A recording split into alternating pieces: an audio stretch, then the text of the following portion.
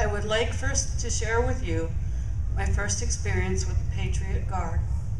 On January 9th, 2007, Minnesota lost another soldier. His name was Staff Sergeant James Wosika Jr. James and my son Kyle were friends, serving in Iraq together.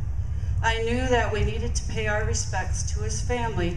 It was our duty as Americans, and also because Jimmy was Kyle's friend.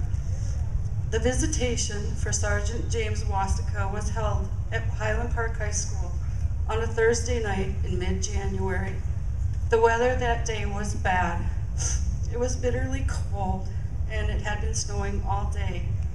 The plows had not cleared the streets, and driving to the high school that day was challenging to say the least. I approached the high school parking lot to see stand, people standing along the sidewalk with flags. I was stunned at the sight, but I also felt this was a great way to honor a fallen soldier. I could not believe that all of these men and women would volunteer to stand there in bitter cold, in snow and slush, to honor one of our heroes. The second experience that I had with the Patriot Guard was on April 3rd, 2008, when our family asked to have them present for the visitation and funeral for my son. Our family decided to make this a public visitation so that all that wanted to attend and pay their respects would have that opportunity. The flag line for Greg's visitation was breathtaking Although we were surrounded by strangers, there was comfort knowing that there were so many people there willing to help us in any way that they could.